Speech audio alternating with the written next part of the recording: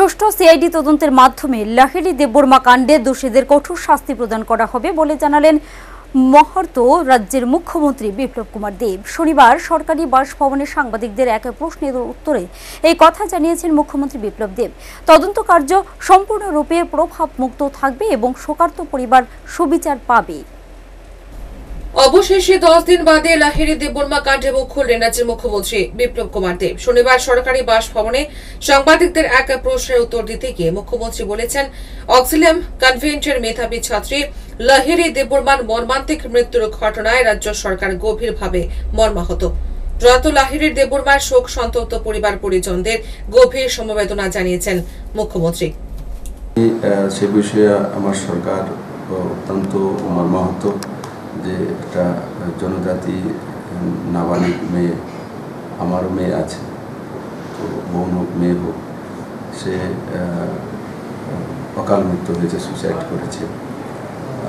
মুখ্যমন্ত্রী আরও জানিয়েছেন, গোটা বিষয়টির তদন্ত ভার সিআইডির হাতে অর্পণ করা হয়েছে। লাহিরি অক্সিলিয়াম স্কুলের ছাত্রী ছিল, হোস্টেল থেকে পড়াশোনা করত। সে বিগ বাজারে যায়। এই দুটি স্থানে যা যা ঘটেছিল সে বিষয়ে সুষ্ঠুভাবে তদন্ত করতে সিআইডিকে বলে দেওয়া হয়েছে। সাংবাদিকদের মাধ্যমে রাজ্যবাসীকে আশ্বস্ত করে মুখ্যমন্ত্রী বিপ্লব কুমার দেব জানিয়েছেন, বিগ বাজার বা স্কুল কর্তৃপক্ষ যারাই দোষী হবেন, তাদের দেশের সংবিধান মেনে কঠোর শাস্তি প্রদান করা হবে। এই ঘটনার তদন্ত কার্য সম্পূর্ণরূপে প্রভাব মুক্ত করা হবে বলেও জানিয়েছেন মুখ্যমন্ত্রী বিপ্লব কুমার দেব। মুখ্যমন্ত্রী জানিয়েছেন, শোকার্ত পরিবার সুবিচার পাবে।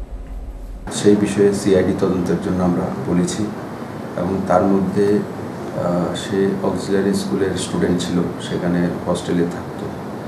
আর সে যে বিগ বাজারে গিয়েছিল, সেখানে যা যা ঘটনা ঘটেছে, সেই বিষয়ে পুলিশ তদন্ত করবে সিআইডিকে বলে দেওয়া হয়েছে সরকারের তরফ থেকে। এবং আমি আপনাদের কাছে একদম স্পষ্টতার সঙ্গে বলতে চাই যে তার মধ্যে সুষ্ঠু তদন্ত করে যারা যারা দোষী, যারা যারা দোষী, সে স্কুলের হোক আর বিগ বাজারের হোক, যারা দোষী, তাদেরকে কঠোর শাস্তি দেওয়া হবে ভারতীয় সংবিধান নিয়ম অনুসারে। তার মধ্যে কোনো ইন্টারফারেন্স কাউকে করতে দেওয়া হবে না।